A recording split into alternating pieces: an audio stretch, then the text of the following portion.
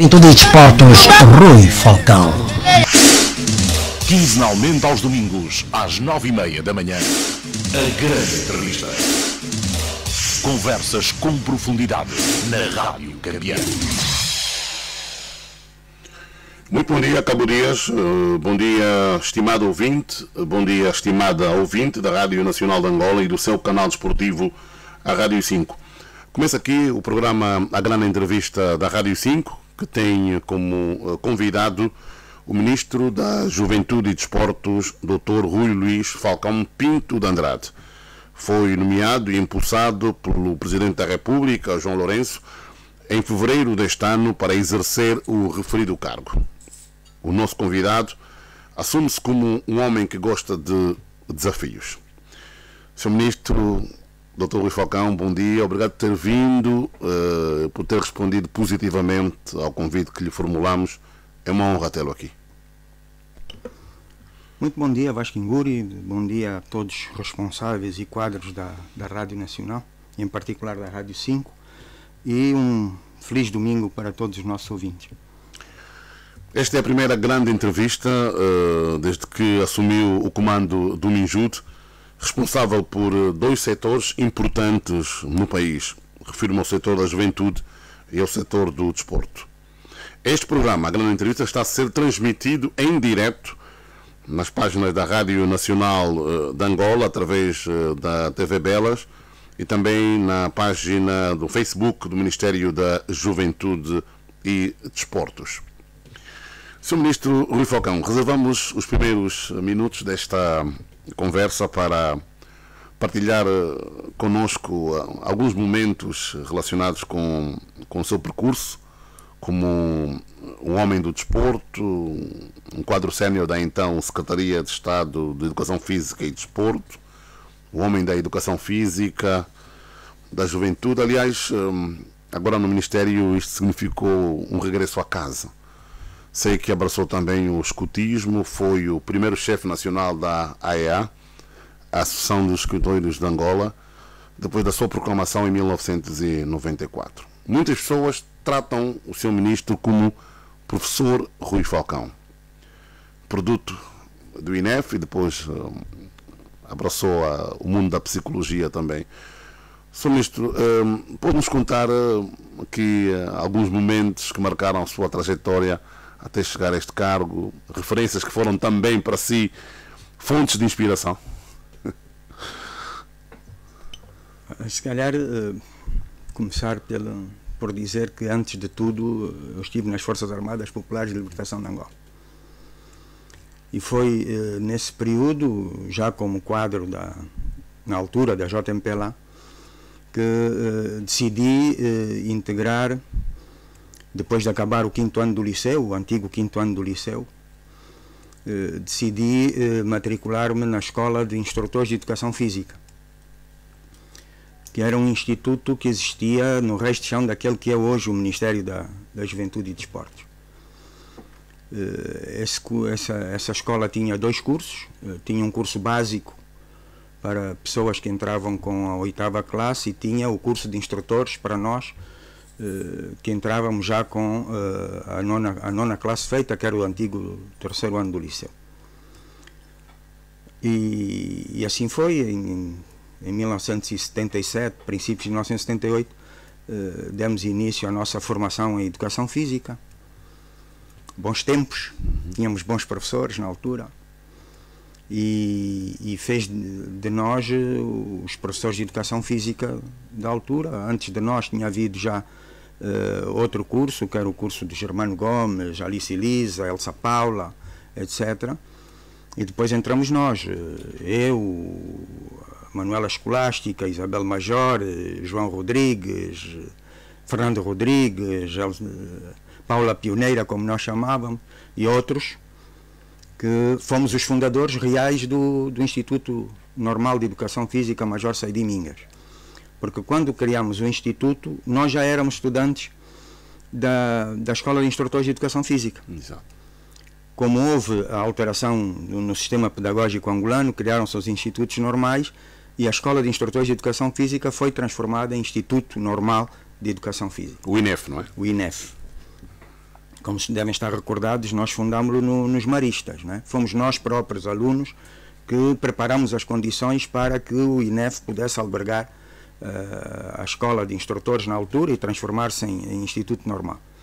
Nessa altura tivemos como primeiro diretor da escola o José da Rocha Sardinha de Castro, que mais tarde veio a ser diretor nacional dos desportos e depois ministro da, da, da, da Juventude e Desportos, e que foi, na, na qualidade de diretor nacional dos desportos, eh, nosso colega na, na, na, então Secretaria de Estado de Educação Física e Desportos, para onde fomos, depois de termos sido convidados pelo Rui Mingas, eh, saudoso Rui Mingas, um, uma pessoa de excelência, um, um homem do desporto, eh, nós tínhamos sido bons alunos, como se costuma dizer, e o Rui Mingas entendeu, eh, sabendo que eu estava de saída das Forças Armadas, entendeu convidar-me para ir para a Secretaria de Estado.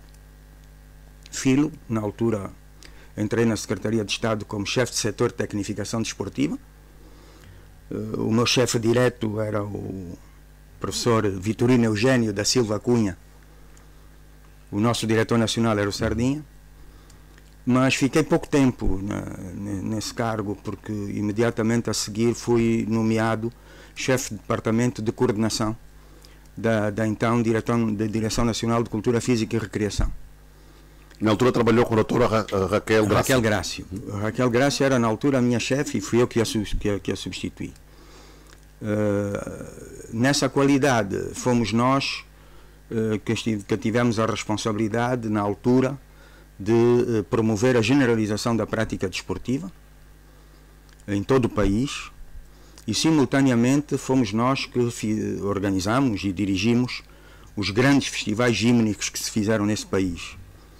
Uhum. O último dos quais realizado em 1990 com 28.250 alunos, sendo que só nos quadros humanos tínhamos 5.600.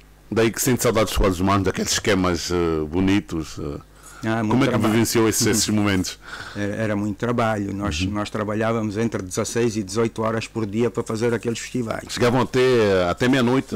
Às vezes muito mais. Às vezes saíamos de lá de, às duas e às, às seis estávamos no terreno.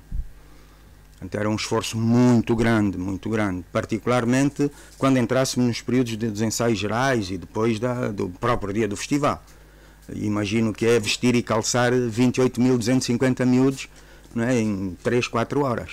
Aliás, eu recebi alguns inputs do ministro, da doutora Fernanda Menezes e do professor Antônio da Luz, que hum. falam exatamente da forma como uh, o doutor Rui Falcão trabalhava com, com esses jovens uh, uh, para que os festivais de esportivos fossem de facto um sucesso autêntico. Ambos, ambos foram meus técnicos. A Fernanda Menezes nós antes tínhamos mandado para Cuba para fazer o curso de Educação Física. O, o professor da Luz já estava cá e nós enquadramos na, na nossa equipa. É preciso dizer que esses festivais eh, muitas vezes reuniam só na equipa técnica 300 pessoas. Ora, não era só o desafio do festival, era também o desafio de ter que coordenar o festival e coordenar essa equipa técnica. Como sabe, quem dirige o festival é quem, é quem faz a coordenação entre os quadros humanos e o esquema gímnico que está no solo, Exato. que está no relevado. Portanto, era, era um trabalho extenuante, mas eh, fazíamos-lo com muito prazer por, pelos resultados. Eh, ainda hoje, eu às vezes vou a determinados sítios e pessoas já eh, com alguma idade vêm ter comigo a dizer que estiveram comigo nos festivais e que participaram. Eh, enfim, é uma, uma alegria muito grande ver isso. Eh, Sr. Ministro, eh, ainda voltando à, à prática da educação física, como professor, sei que deu aulas a muitos, a muitos alunos. O Londino Carvalho também faz menção a esses momentos importantes que, que vivenciou com o Sr. Ministro, enquanto professor de, de educação física, não só transmitindo os conhecimentos ligados à, à disciplina, mas também incutindo na mente do jovem a necessidade de acreditarem nos seus sonhos. Naturalmente, nós sempre, sempre tivemos eh, como, como foco a necessidade de uh, dar aos nossos jovens o máximo de formação possível para que eles pudessem se ingrar na sociedade.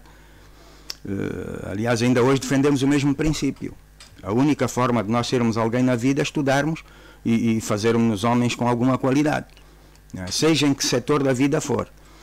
Uh, e de facto, houve tantos, Vitor, tantos Luandinos de Carvalho na minha vida. Né? Então, felizmente, estão aí, são, são bons quadros, estão nas, nos diferentes setores da sociedade, mas digamos que a vida continuou. Não é? Uh, nós fomos durante nove anos vice-presidentes da Federação de Karatê. Como sabem, eu sou do Shotokan, sempre uhum. fui praticante de Shotokan. Depois parei por razões de indisponibilidade de tempo, mas fui durante nove anos e fomos nós que criamos a Federação Angolana de Karatê Do. Eh, eu já estava na, na Secretaria de Estado quando o fizemos. Eh, e para além disso, ainda na, já Ministério da Juventude e Desportos, eh, como sabem, eu sou um dos fundadores do, do movimento Scout Nacional, aquilo que nós hoje chamamos de Associação de Escuteiros de Angola. E, e é por aí que gostaria também, aproveitando esses, esses, esses, esses, minutos iniciais da nossa grande entrevista aqui na, na Rádio 5, falar um pouco sobre, sobre o escutismo. É um mundo que conheço muito bem, esta, esta associação Uh, surge em 1994, creio eu, e em 96 o reconhecimento uh, da AEA. Antes de haver uhum. a AEA, uh, nós criamos a Associação Nacional de Escuteiros, a AN. Essa é que foi a primeira associação a primeira. de escuteiros de Angola. Uh, Criámos-la com, com os vários credos. Depois entendemos que, face ao peso que o escutismo católico já tinha na altura, dar outro salto, e aí sim fizemos a, eh, criamos uh, no dia 3 de dezembro de 1994 uh, eh, a Associação de Escuteiros de Angola. Foi o primeiro chefe nacional, não é? Fui durante 17 anos chefe nacional e tenho um, um imenso orgulho nisso. Hoje o nosso movimento tem em Angola cerca de 60 mil jovens. Hum? É a maior associação juvenil não política. Então é um orgulho muito grande. Começamos oito e é preciso relembrar também esse episódio de forma muito rápida. Eh, eu fui escoteiro no, no tempo colonial, era da, da secção de escoteiros marítimos do agrupamento da, da Huila. Como sabe, o agrupamento da Huila uh, tinha a sua parte terrestre na Huila e tinha Sá da Bandeira antigamente e tinha os escoteiros marítimos no, em Moçambique era um único agrupamento. Portanto, nós fazíamos parte da ala de escuteiros marítimos. E um dia eu estava no meu gabinete na, na Cidadela e recebi o, o professor Alfredo Júnior, que era na altura vice-ministro da Juventude. E lancei-lhe o repto. Porque é que nós eh, não criávamos eh, o movimento Scout eh, em Angola quando estávamos num momento periclitante da, da nossa vida e era preciso criar algo que desse aos jovens uh, outra maneira de estar na sociedade. Ele abraçou essa ideia e, na altura, o diretor nacional da juventude era o Nelo Vitor, uh, Manuel Vitor. Então, fizemos, uh, ato contínuo, um comunicado a convidar quem, os antigos coteiros que quisessem participar no processo que aparecessem. Felizmente apareceram sete uh, antigos escuteiros, seis, seis antigos escuteiros e, com, e apareceram com o padre Agostinho de Bassan. Com, há aqui muitos jovens que devem ter conhecido o padre Agostinho de Bassano da, da paróquia de Fátima, que era um escuteiro de, de corpo e alma. Não é?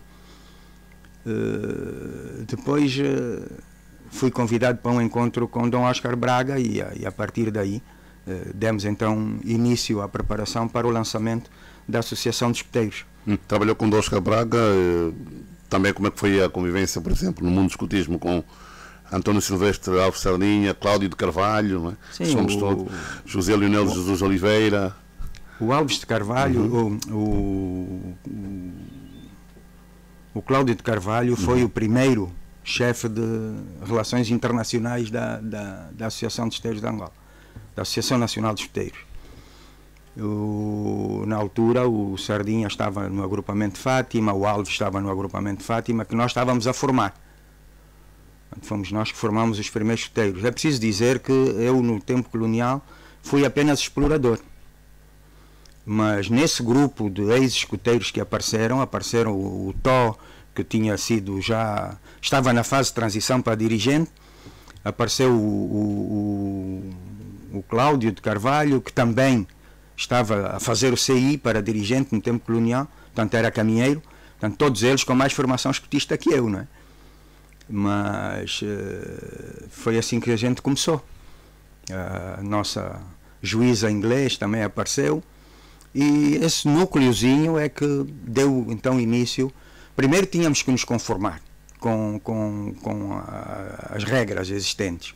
Tínhamos que instituir a associação, para isso precisávamos de fazer alguns contactos no sentido de receber documentação uh, de fora para percebermos como é que estava o movimento e como é que nos devíamos organizar. Uh, esse trabalho foi um trabalho difícil, complexo, mas como estávamos todos empenhados, eh, conseguimos fazê-lo e instituímos a associação e hoje é o que é. Momentos inesquecíveis, eh, seguramente, doutor Luís Falcão, Ministro da Juventude e O mesmo processo vivemos com uhum. a Federação Angolana de Karatê Do. Karatê Do também. Uhum. Aliás, o emblema que ainda hoje a Federação tem foi desenhado por mim. Histórias interessantes. Muito obrigado por estar a partilhar aqui connosco estes momentos que marcaram a sua a trajetória até chegar eh, ao cargo de Ministro da Juventude e Desportos e disse no início desta conversa, uh, Sr. Ministro, que é uma pessoa que gosta, que gosta de desafios. Como é que uh, encarou este novo desafio uh, sendo Ministro da Juventude e Desportos de Angola? Bom, pr primeiro, sinto-me como peixe na água. Eu sou filho daquela casa, né? Eu fiz-me responsável, fiz-me dirigente, Aliás, é preciso dizer que foi fruto do nosso desempenho que em 1992 integramos a lista de deputados. Né? Eu sou deputado eleito desde 1992. Fui eleito nos cinco processos eleitorais deste país. Então, fruto do nosso empenho, da nossa dedicação, nós habituamos-nos a viver de desafios. Hum? Nós não sabemos estar na vida sem, sem enfrentar desafios, sejam eles quais forem. Uh, também me fiz de alguma forma homem da comunicação, porque fui obrigado a isso. Tive que me preparar para uh, esses desafios. Não é? E essa trajetória é bem conhecida também. Uhum. Portanto, nós sempre fomos homens de desafios e estamos aqui para continuar a desafiar, seja o que for. Uhum. E quais foram os primeiros, os, os, os, primeiros grandes desafios que encontrou no Ministério da Juventude e Desportos de fevereiro até esta altura?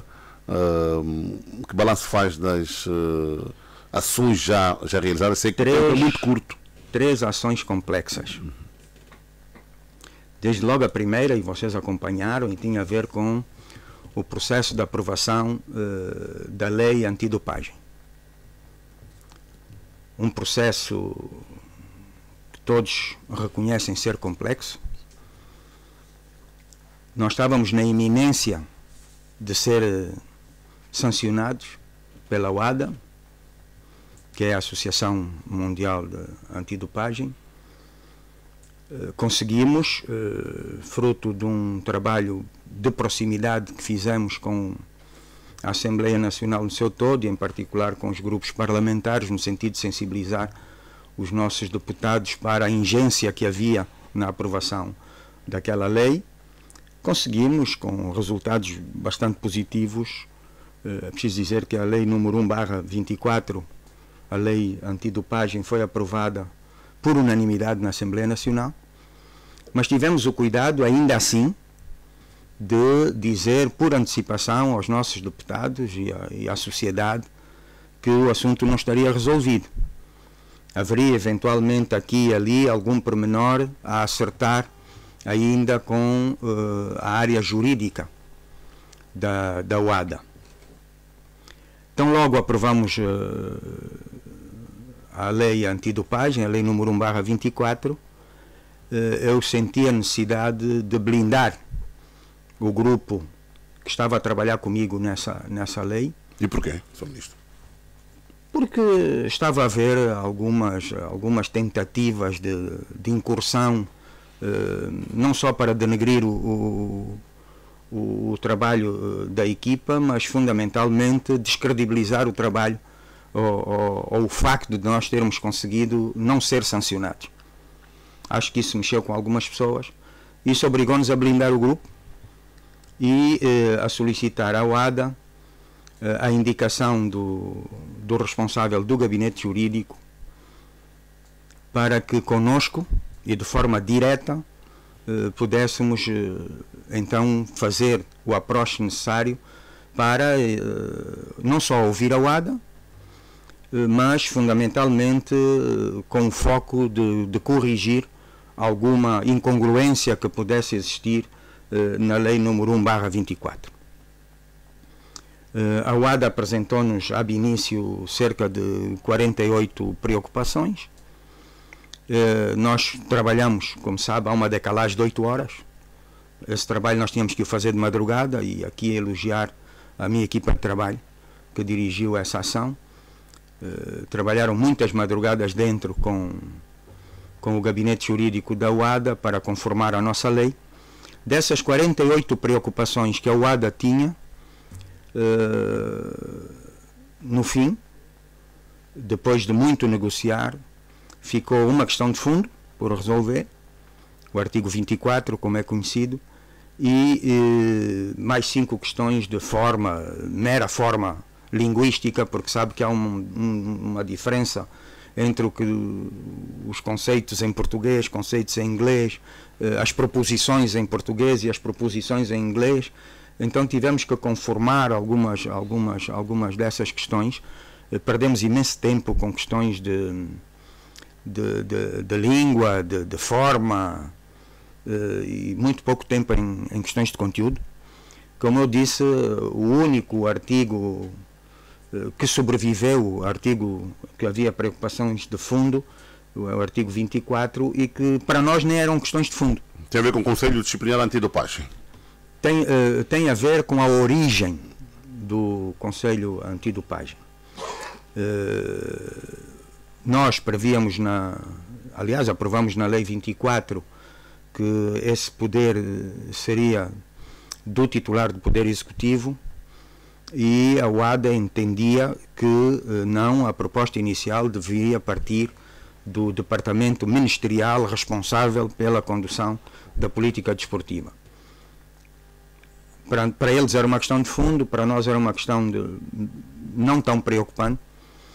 Eh, aliás, não, foi assim, tanto que quando pusemos a questão ao presidente João Lourenço, na sua qualidade de titular do Poder Executivo, ele anuiu imediatamente. Portanto, não havia para nós a esse nível qualquer preocupação. A preocupação estava do lado da UADA. Felizmente corrigimos, os nossos deputados eh, entenderam as razões que estavam na base eh, dessa alteração.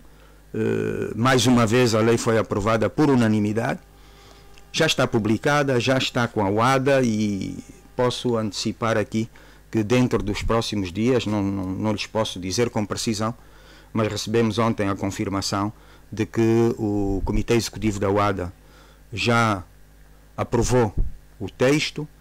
Daqui a dias vamos receber uh, a decisão final da UADA. Portanto, já, já não se coloca aquela questão da, das bandeiras, dos Jogos Olímpicos? Isso, nunca, não. Isso, isso foi um falso problema por aqueles que pretendiam causar alguma, alguma dificuldade.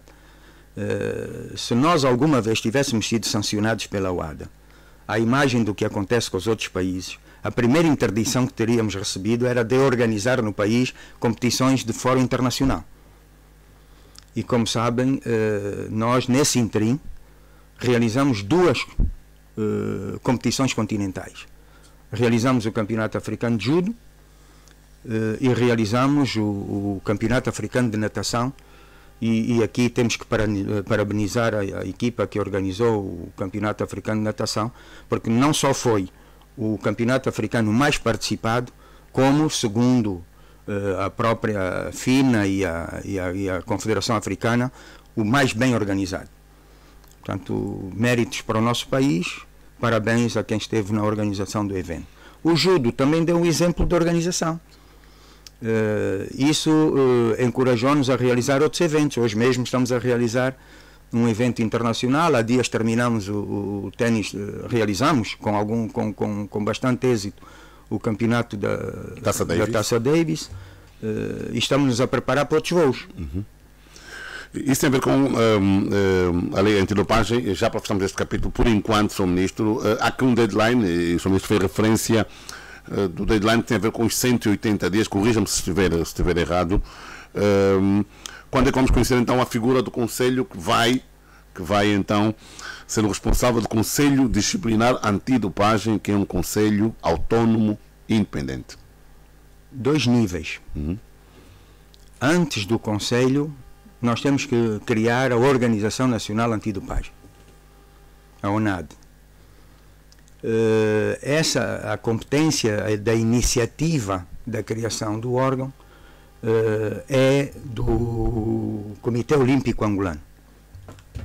Compete ao Comitê Olímpico Angolano apresentar-nos eh, a proposta para a criação da Organização Nacional Antidopagem.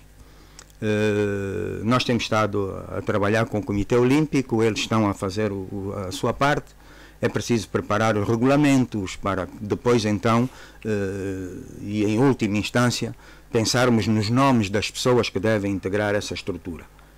Eh, paralelamente a isso, nós estamos também a trabalhar no regulamento da, do Conselho Disciplinar Antidopagem. disciplinar antidopagem e, e quando tivermos o regulamento finalizado, então eh, iremos fazer os contactos com algumas figuras que pensamos serem relevantes para eh, um processo destes e pela inexperiência que ainda temos nesse domínio. E já tem alguns nomes, Sr. Ministro? Eu tenho, não vou divulgar, como é lógico. Eu tenho, tenho, a minha equipa tem estado a trabalhar nisso, temos estado a discutir perfis e felizmente nós temos algumas figuras eh, que, podem, que podem exercer com alguma tranquilidade essa responsabilidade. Dentro deste deadline. Naturalmente, dias, é? esse é um desafio nosso.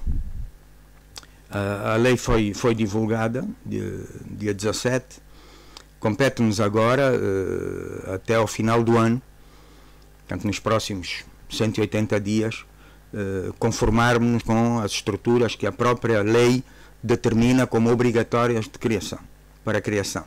Portanto, nós vamos, vamos fazer, vamos, estamos a fazer esse trabalho com alguma tranquilidade. Sabe que esses trabalhos são feitos por, por analogia. né? Nós temos que respeitar os regulamentos internacionais, portanto, estamos a, a preparar eh, o escopo necessário para termos um regulamento próprio. Vamos definir a estrutura orgânica e, com base nisso, indicar pessoas, naquilo que tem a ver com a UNAD.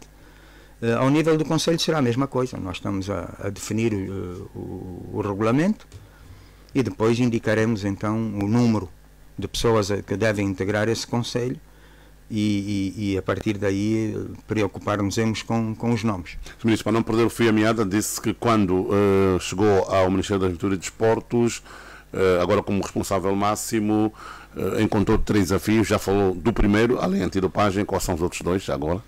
Os outros dois tinham a ver com a necessidade de nós redefinirmos uma estratégia para o desporto. E tínhamos muito pouco tempo. Eh, Quando nós chegamos, havia um, um documento inicial que nós entendemos eh, não corresponder no, no- no essencial àquela que poderia ser a, a grande preocupação da família desportiva. Entendemos por isso mesmo pedir uma moratória ao titular do Poder Executivo para nos permitir não só aprofundar a análise daquele documento, mas trazê-lo à sociedade desportiva e dela colher os contributos necessários para o seu enriquecimento. E foi isso que fizemos. Eh, trabalhamos tão rápido quanto possível e eh, convocamos eh, o Encontro Nacional do Desporto, que, como sabe, é uma figura hoje diferente da do passado. O Encontro Nacional do Desporto antigamente era parte dos regulamentos que, do Ministério. Hoje o que existe é o Conselho Superior do Desporto, é o Conselho Superior da Juventude. Nós entendemos que devíamos fugir um pouco a essa estrutura institucional eh, muito orgânica, muito representativa, eh, mas não tão inclusiva quanto nós desejamos que seja eh, um, um encontro desta natureza. E por isso mesmo fugimos da organização dos conselhos e passamos a, a, a perspectivar o Encontro Nacional de Desporto no sentido de trazer a esse encontro outras figuras que não fazendo parte dos conselhos, ou do Conselho Nacional de Desporto, por exemplo, pudessem uh, dar o seu contributo. Uh, e aqui estou a pensar no caso dos jornalistas desportivos, estou a pensar na, nas pessoas da indústria do desporto, e, e, e conseguimos uh, pô-los ao nosso lado e discutir olhos nos olhos aquilo que eram não só uh, que são as necessidades que nós temos hoje, mas perspectivar o futuro de médio prazo. Uh, a Rádio 5 esteve lá bem representada e deu os seus contributos. Uh, hoje temos um, um plano de desporto, que é essa a denominação do documento, uh, muito mais rico do que, do que seria de esperar. Agora uh, está na fase de aprovação. O que lhe posso informar é que já foi aprovado pela Comissão Técnica do Conselho de Ministros e dentro de pouco tempo será agendado em Conselho de Ministros para, para a sua aprovação. Está quantificado também já o, o plano Está de desporto? quantificado. Sabe que nós tomamos uma decisão. Não levar uh, ao Encontro Nacional de Desporto essa quantificação e não levar exatamente porque quando se trata de, de, de, de, recursos financeiros, etc., as pessoas esquecem aquilo que têm que fazer e ficam a discutir eh, tostões. Então nós decidimos eh, não levar valores ao, ao Encontro Nacional de Desporto, levar ideias, levar propostas eh, e fazer as pessoas discutirem desporto. Hum? E felizmente a estratégia foi bem sucedida. As pessoas passaram o dia inteiro a discutir desporto e, e, não ouviu ninguém falar de recursos. Até porque há esta garantia, não é? Há esta, esta garantia do financiamento do planado, do plano de desporto, nesse caso. Naturalmente, o, o, o Estado terá as suas responsabilidades. Através do OGE, é, Ministro? Naturalmente. Uhum. Mas, como sabe, ele é espartilhado em, em mais três orçamentos, né? Então, é esse trabalho que estamos a fazer. Neste momento, como lhe disse, o plano, o plano de desporto foi aprovado em, na, pela Comissão Técnica, vai agora ao Conselho de Ministros e, naturalmente, nós estamos abertos a todas as contribuições ao nível do Conselho de Ministros e aquela que for a deliberação, será que nós vamos executar. E dentro do plano de desporto, Sr. Ministro, onde é que estamos, onde é que queremos estar em 2027, por exemplo? O, o, o plano de desporto tem eh, algumas âncoras desde logo a necessidade premente de nós reorganizarmos a pirâmide desportiva. E a pirâmide desportiva tem na, na, sua base aquilo que é o desporto comunitário, o desporto recreativo e o desporto escolar. O desporto comunitário, a ação que nós realizamos nos bairros, etc., etc. O desporto escolar, aquilo que deve ser realizado no seio da escola, e, e, e, aqui, desde o início, nós estamos a chamar a atenção para a necessidade de uh, haver, de facto, uh, desporto escolar enraizado a partir daquilo que é a educação física escolar. A partir daí, fazermos uh, a seleção do, do, do, das crianças e jovens que podem integrar em cada uma das turmas as equipas para fazer aquilo que nós antigamente chamávamos os interturmas depois uh, evoluir até os campeonatos até os campeonatos nacionais. Mas repito enraizado a partir da educação física nas escolas. Há um pressuposto básico que é a existência de infraestruturas para a prática uh, desportiva. Um, um sem número de escolas no nosso país não tem sequer uma quadra 40 por 20 onde, onde se possa fazer com alguma qualidade atividade física. eh, muitas escolas recorrem à, à, sua periferia para encontrar espaços para fazer essa atividade. Ora, uh, o plano de desporto tem também como preocupação uh, a criação de, de, condições para a prática da educação física e, a partir dela, começarmos a estruturar então com outro perfil o, o, o desporto escolar que se vai fazendo, com, até com, com alguma qualidade, mas uh, não suficientemente abrangente face às, às, implicações que temos. E, e a questão não é apenas uma questão infraestrutural. É preciso dizer que nós hoje uh, não formamos professores de educação física uh, no volume necessário para responder à demanda. Hum? o número de professores de educação física, quer de, de, de nível médio, quer, quer de nível superior, que nós formamos hoje, é exíguo. Uh, e se aliarmos a isso o facto de, de muitos daqueles que se licenciam não, uh, licenciam, não se licenciarem para a prática da educação física, muitos deles uh, licenciam-se e vão automaticamente para outros setores que não os de educação física. Essa é a nossa realidade. Hum? Então temos esses constrangimentos. no nosso tempo, muitos de nós derivamos para outros cursos porque não havia cursos superiores de educação física.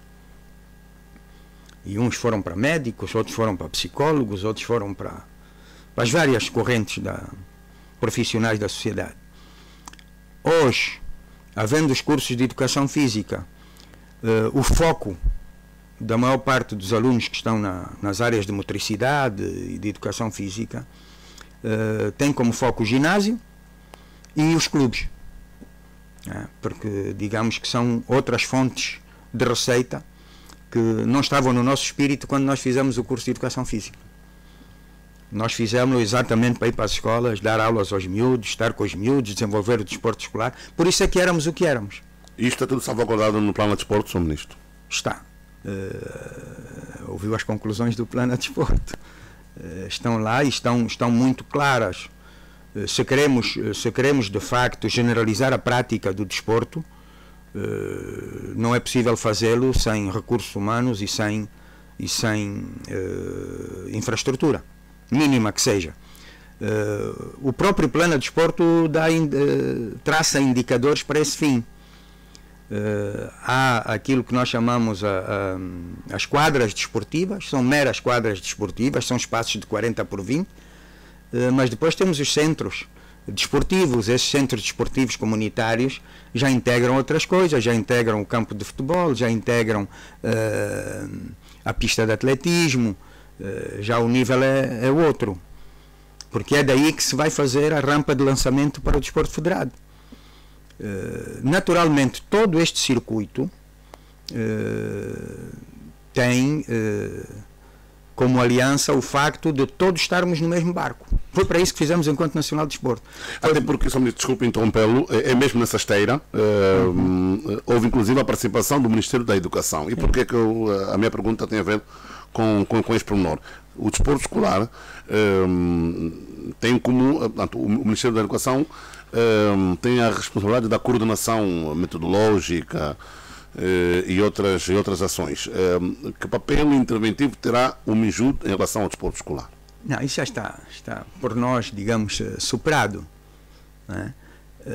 o espírito que existe e que está assente nas orientações do titular do Poder Executivo é de que quem lidera o desporto no país é o, o, o Departamento Ministerial Vocacionado.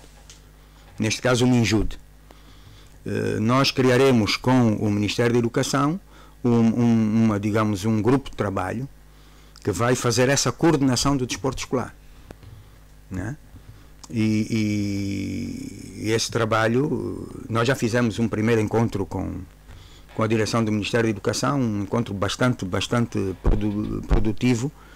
Uh, a, a, convergência é total.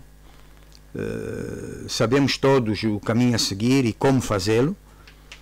Portanto, a seguir vamos passar para a implementação, tão logo o plano de desporto seja aprovado, nós vamos criar a Comissão Nacional de Desenvolvimento de Desporto Escolar. Falou também do, do desporto comunitário, é um movimento que vem crescendo uh, de forma, de forma significativa, significativa em, em todo o país. De que forma podemos envolver os jovens para iniciativas relacionadas com o desporto comunitário, Sr. Ministro? Não, isso uh, há vários níveis de intervenção. Desde logo, a necessidade que nós temos e sentimos no dia a dia de uh, melhorar a qualidade daqueles que estão como monitores nesse setor. Muitos dos quais uh, são ex-praticantes, mas que precisam de, de, ver agregado no seu conhecimento uh, aquilo que são os vetores pedagógicos do ensino do gesto técnico, por exemplo. não basta saber jogar futebol, hum? ou saber jogar basquete, ou saber jogar handball. É preciso saber ensinar o gesto técnico de cada uma das modalidades. E para isso há processos pedagógicos próprios. Né? o monitor do, do, do, futebol tem que saber ensinar como é que se faz o passo com a parte interna do pé, como é que se faz uma recepção com a coxa, com o peito ou com a cabeça. Dizer, e, e toda essa metodologia do desporto tem que ser de forma gradual uh, transmitida a, a, esses monitores. O, o, o, que o plano de desporto prevê como meta é formarmos uh, cerca de 12 mil monitores comunitários.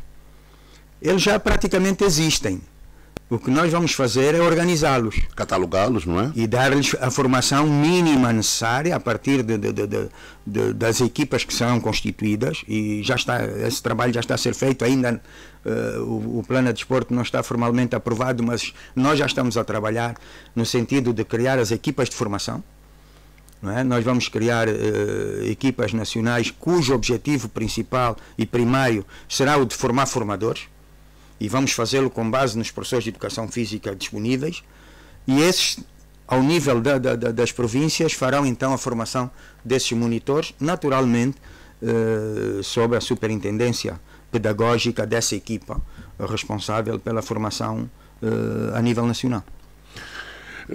Vamos uh, também falar, uh, Sr. Ministro, da, desta questão da, do, dos desafios que encontrou. Uh, já falou da lente do página, da estratégia para, para o desporto. Falta o terceiro desafio é? que encontrou. O terceiro desafio uh, seria acelerar, uh, junto da, da massa juvenil, a discussão do Plano Estratégico de Desenvolvimento Integral da Juventude. Como sabe, a imagem do Plano de Desporto, o PEDIS, como nós chamamos, está em discussão em todo o território.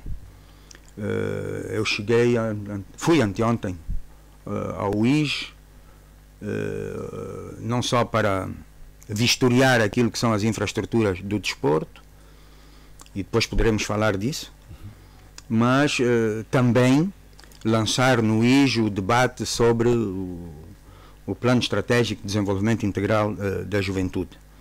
Estamos a fazê-lo em todo o território, já estivemos em 14 províncias. falta pouco para concluir. Então, logo concluamos uh, a análise nas 18 províncias, nós vamos uh, fazer o Encontro Nacional da Juventude também. E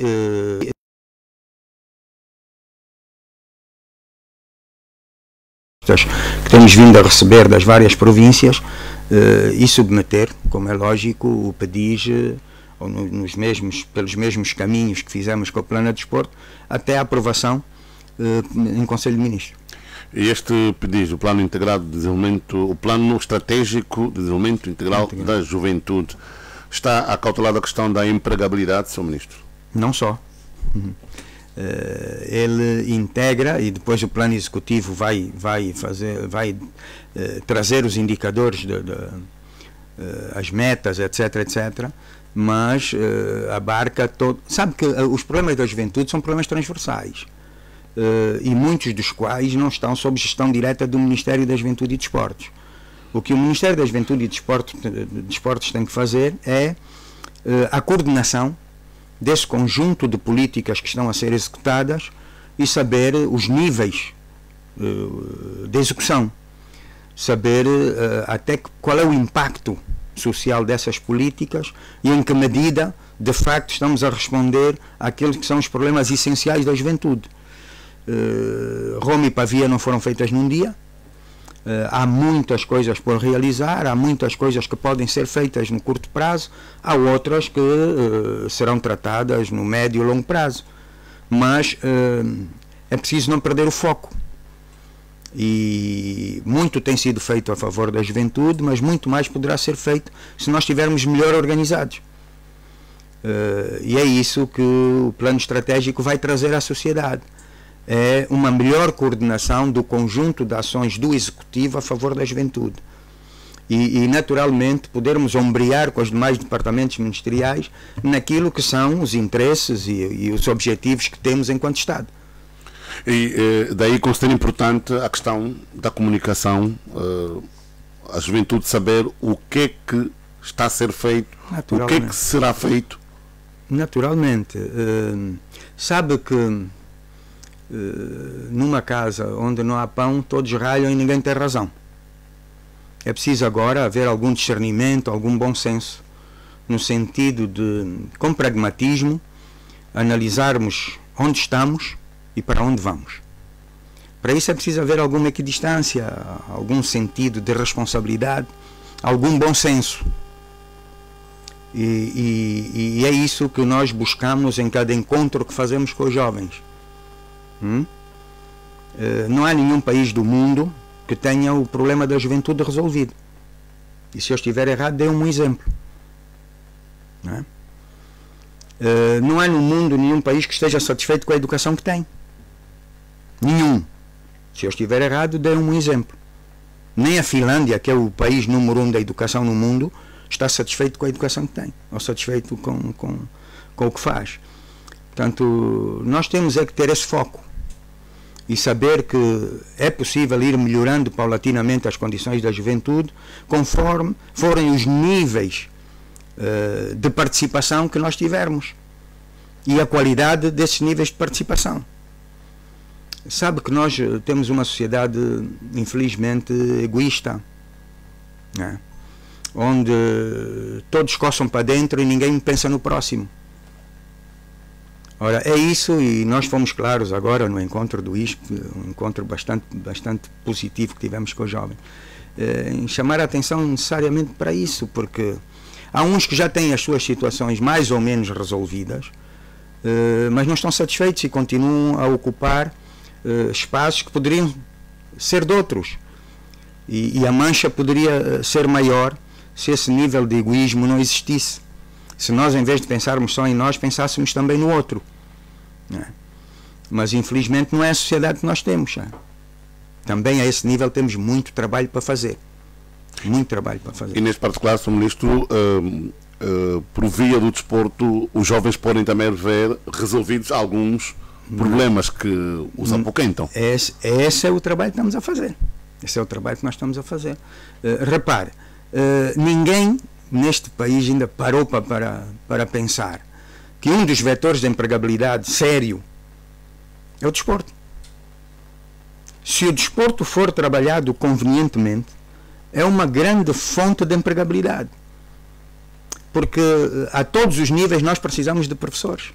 A todos os níveis nós precisamos de monitores. A todos os níveis nós precisamos de treinadores. Isso é emprego. Isso é emprego. Então, se nós eh, pensarmos no desporto como uma fonte de empregabilidade, vamos deixar de pensar no desporto como algo secundário. E, e, não só nessa vertente. Se nós pensarmos que uma das fontes de melhoria da qualidade de vida das pessoas é a prática desportiva e que isso tem como consequência a redução substancial de custos que temos ao nível da saúde, é? veremos no desporto não uh, dinheiro gasto, mas dinheiro investido. Ora, é, esse, é essa perspectiva uh, que, que, que, nós temos enquanto responsáveis, enquanto dirigentes, tem que mudar. Tem que mudar. As pessoas têm que olhar para o desporto como algo que não é um custo, mas é um investimento. O nível de formação uh, cívica que nós, por via do desporto, transmitimos aos nossos jovens, não há nenhuma outra área da sociedade que o faça. A ocupação dos tempos livres também. Não só a ocupação dos tempos livres, a necessidade de respeitar regras. É vantagem. Você não vai ver um atleta destruir, seja o que for por destruir. Quem o faz nunca praticou desporto, nunca esteve sujeito a regras. E as regras começam-se a aprender desde pequenino. Tal, há um ditado que diz: é de pequenino que se torce o pepino. Se nós começarmos desde pequeninos na fase pré-escolar, não só a trabalhar uh, os, o, os, processos volitivos e de, e, e, de, e de educação uh, neuromotora, se nós nos preocuparmos em transmitir regras, esses, essas crianças vão crescer com outro nível de, de alinhamento né? e, e, um alinhamento diferenciado em relação à sociedade daquele que temos hoje. Daquele que temos hoje. E há também, Sr. Ministro, eh, a questão. Eh, Pelo contrário, uhum. desculpe-me só dizer sim, isso. Sim.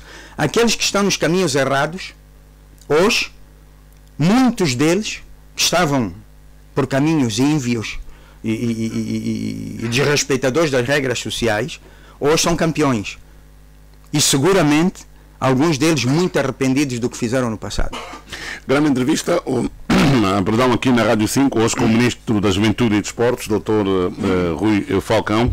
Estamos em direto na página da Rádio Nacional de Angola no Facebook, através das imagens da TV Belas e também estamos na página do Ministério da Juventude e Desportos.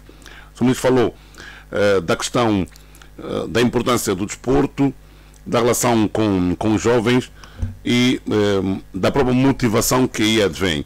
E é um assunto que não foi muito eh, discutido, debatido, eh, também na comunicação social e que tem a ver com eh, a alteração do regime jurídico de, de atribuição de prémios para, para os atletas, treinadores, inclusive eh, pessoas relacionadas com uh, pessoal de apoio, uh, não sou treinadores. E isto é, é, o decreto presidencial número 118 barra, barra, 20, barra 24. É, é também uma forma de valorizar, de, de, dar mais dignidade, sobretudo, àqueles que se destacam e que ajudam a, a engrandecer o nome, a imagem do país. Naturalmente. Uh, essa foi uma, uma, uma, uma, outra preocupação que tive e, e sabe que nós fizemos em tempo recorde. Uh, de maneira nenhuma os prémios que estavam definidos para os atletas do, de alto rendimento uh, satisfaz as necessidades sociais desses atletas dar a um campeão do mundo aquilo, aquilo que se dava é quase, era quase um, um vexame. Uh, então nós decidimos, e com o beneplácito do, do titular do Poder Executivo, uh, analisar o assunto e levar uh, ao titular do Poder Executivo, por via do Conselho de Ministros, uma, uma, um novo quadro de, de premiação, digamos assim, pecuniária dos nossos, dos nossos atletas. E, e, e não só eh, esta decisão que nós tomamos visa melhorar a qualidade de vida desses jovens, jovens que atingem esse patamar, mas, por outro lado, acabar com algumas injustiças que até uh, se, se, faziam de forma inadvertida, muitas vezes. É? Nós temos que tratar todos os atletas, independentemente da modalidade, em igualdade de circunstâncias. Sim. Um campeão africano de handball não é diferente de um, de um campeão africano de MMA ou de jiu-jitsu ou de natação. Para nós, enquanto dirigentes desportivos, enquanto responsáveis, todos eles são iguais. O mérito é o mesmo. E quem fala de campeões africanos fala de campeões do mundo. É? O que nós temos que, eh, que, dar a esses jovens é a possibilidade deles próprios resolverem os seus problemas. Uh, e para isso uh, temos que oferecer prémios que lhe permitam alguma estabilidade. E não vou falar de números, mas posso-vos dizer que nós, uh, o prémio mais alto, multiplicamos-lo multiplicamos por oito vezes. Oito vezes. exatamente para que ele, com esse prémio, possa de alguma forma organizar-se. Hum? Nós temos um sem número de atletas eh, de alta competição, com títulos de todos os níveis, que, uh, isso para não falar da dívida que ainda existe e que está a ser tratada agora, mas temos um sem número de atletas que atingiram esse patamar e que por razões diversas, por razões dispares, não é? não têm uh, as suas condições de base resolvidas. Uh, não é justo isso. Não é justo. Uh, infelizmente, muitas vezes, os atores políticos não têm noção do esforço e do tempo que um atleta de alto rendimento dedica à prática do seu desporto para atingir determinados níveis. Hum? Mas posso dar exemplos. Há atletas nossos que chegam a treinar nove horas por dia. Quando estão no mais alto nível e dependendo das modalidades onde estão, alguns chegam a treinar 9 horas por dia. Bom, vamos segurar naqueles que tomam decisões e ver se são capazes de o fazer. Então, quem toma decisões tem que ter a perspectiva do sacrifício que os outros fazem para meter a bandeira do nosso país lá em cima. Portanto, este regime jurídico veio numa boa altura, Sr. Ministro. Como? Este regime, regime jurídico atribuição de prémios a atletas. Sim, eh, mas temos, temos, que solver, temos que solver essa dívida que existe com o Há passado. prémios por receber. Há muitos prémios por receber, infelizmente eh, demoramos muito a, a tomar algumas decisões, mas agora estamos, estamos bem encaminhados e eu creio que eh, sem, sem datas, né, dentro dos próximos tempos nós vamos solver a dívida, sendo que ela continuará a crescer se nós não formos pagando os títulos que vamos adquirindo. Hum? Eh, As pessoas não têm noção do, do, do, de facto do nível de, de diplomacia que o desporto desenvolve. Eh, Não há político nenhum que consiga pôr no, no mundo a bandeira de Angola como os desportistas o fazem. Esse é o maior ciclo de diplomacia que pode haver. Quando você tem atletas que têm que são vistos 102 milhões de vezes no mundo por aquilo que fazem, num ano só, tem 102 milhões de, de, de, de- visitas na- nas páginas oficiais, é para ver onde é que a bandeira da Angola chegou. Não é? Então esse carinho tem que ser dado. O país tem que retribuir isso. O país tem que retribuir isso. E retribuir eh, não só dando-lhe essa, essa estabilidade para que ele continue os níveis de desempenho que tem, mas fundamentalmente criando os pressupostos básicos para o seu futuro. Não basta dar o prémio hoje. Nós já estamos empenhados, em- e, e, aliás eu tenho até recebido inputs de vários eh, ex-atletas, hoje dirigentes, outros treinadores, eh, no sentido de equacionarmos alguma forma de garantir a segurança social desses atletas. Mas aí os clubes são chamados a esta responsabilidade. Sr. Já lá vamos. Uhum. Ainda estamos a falar dos atletas de alto Exato. rendimento que estão nas seleções nacionais. Que estão nas seleções nacionais. Porque é daí que tem que vir o exemplo. A proteção começa de cima para baixo. Uh, Os de cá de baixo não respeitam regras, quando os de cima também não fazem. E como é que deve ser feito lá em cima? Lá em cima é isso que eu estou a dizer. Uh, há muitas ideias, eu ainda tenho isto muito, Sim. muito No disperso. que tens mesmo a segurança social. Há Sr. Ministro? várias ideias. Um- Uns propõem a existência de um fundo de, de- de- proteção social dos atletas, outros propõem eh, descontos a serem assegurados por esse fundo. Há, há N opiniões. Nós daqui a dias vamos chamar esse, esse conjunto de pessoas que têm estado a dar contributos para isso, para nos sentarmos e começarmos a organizar as ideias E alargar a a auscultação também, não é? naturalmente. Eh, primeiro com um núcleo, para termos um, um documento de base, E depois, e depois então é? poder alargar a discussão. discussão. Eh, e fazendo já com base também em experiências que vão surgindo aqui e ali, por exemplo, no domínio da cultura, eh, eu ainda não tive oportunidade de aprofundar o estudo, mas sei que ao nível da cultura já existe alguma, alguma coisa nesse sentido. Portanto, é aproveitar as boas experiências que existem para trazê-las para o mundo para o mundo do desporto. Para não eh, continuarmos a ouvir aquelas histórias, não é? Eh, eh, Sr. Ministro, de mendicidade, de Também dificuldades. algumas das quais mal contadas. mal contadas também, alguns é? receberam, se tivessem tido algum Na gestão é, de tudo Claro, é? Isso também é- poderiam ter isso também é resolvido alguns problema. problemas. Isso também é outro problema. Pois, mas nós quando analisamos temos que analisar o todo.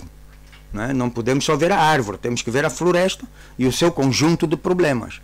é? E esses conselhos são, são fundamentais, não é, Sr. Ministro? É essas pessoas que devem saber gerir, sobretudo, Natural, a não. carreira Hoje- hoje e os prêmios decorrentes desta, desta carreira. Hoje em dia há uma figura no desporto que é chamado mentor desportivo, né? E, e, e esses mentores existem exatamente não só para eh, conduzir comportamentos, para melhorar comportamentos, mas fundamentalmente para ajudar esses jovens na gestão de algum património que eles adquiram e que precise de, de alguma gestão adicional no sentido de ser fonte de rendimento. Né? Uh, são passos que nós temos que, que analisar. Como eu lhe disse no princípio, Roma e Pavia não foram feitas num dia. Uh, sinto a, a, preocupação Sr. Ministro na valorização generalizada das modalidades. E a minha pergunta é: será possível melhorar ou aumentar o investimento nas modalidades individuais em função do nosso potencial, sem desinvestirmos nas modalidades coletivas que também dão alegrias ao nosso país e se haverá recurso financeiro suficiente. Vamos, vamos aproveitar o momento para fazer aqui um, um bocado de história. Uhum. No nosso tempo, estamos a falar de há 30 anos atrás, uh, as modalidades de luta que existiam eram o judo, o karatê e o boxe. Eram essas uh, praticamente as modalidades de luta que existiam. Numa primeira fase, ao nível do karatê, havia base quase que exclusivamente Shotokan, depois é que começaram a aparecer outros estilos que foram sendo agregados na federação. Mas essa realidade, e, e, e naturalmente, face a esse pressuposto, não é, a, a, a, as meninas dos olhos eram as modalidades coletivas, particularmente o futebol, o basquetebol e o handball. Hum? Hoje a realidade não é essa. Hoje a realidade está completamente invertida. E uh, as modalidades que mais prémios trazem para o país são modalidades individuais. Uh, e, e, aqui podemos, podemos dizer que mais de 90% nas modalidades de luta. Porque hoje já não existem só aquelas que eu enunciei, hoje existe o jiu-jitsu, existe o MMA. MMA uh, e se nós formos intelectualmente honestos, hum, temos que assumir coletivamente a responsabilidade de dar um maior incentivo às modalidades individuais, face ao nível de crescimento, face ao nível de, de, de, de, de ao número de praticantes que hoje têm, mas muito particularmente face aos resultados que apresentam. Temos de ser honestos. E essa honestidade leva-nos a dizer que uma parte do bolo tem que ser, de facto, vocacionado para a generalização da prática dessas modalidades e continuar a apoiar ao nível da competição. Porque, para ter uma ideia, nós, nos primeiros cinco meses deste ano, o país conquistou cerca de 230 medalhas na alta competição. 230 medalhas na alta competição. Cerca de, de, de 225 são individuais. É para ver o rácio. Então, infelizmente, nós já tomamos essa decisão e hoje essas modalidades de luta já estão com alguma folga. Já receberam recursos suficientes para fazer o que estão a fazer inclusive para participar em competições internacionais com delegações significativas. É? O movimento cresceu muito, de facto. E nós temos que apoiar. Temos que, no nosso tempo, nós que fazíamos luta éramos os maus da fita. Né? Hoje não. Hoje esses são os bons da fita. Então nós temos que os apoiar, necessariamente. Não deixando de apoiar todas as modalidades coletivas, como sempre fizemos, mas temos que olhar para as modalidades individuais com outros olhos de ver. Essa é que é a nossa realidade. Podemos agora falar, Sr. Ministro, da, da questão relacionada com a segurança social nos clubes? Podemos. Qual é o conselho que deixa aos clubes para que haja de facto uh, o cumprimento daquilo que está, está estipulado?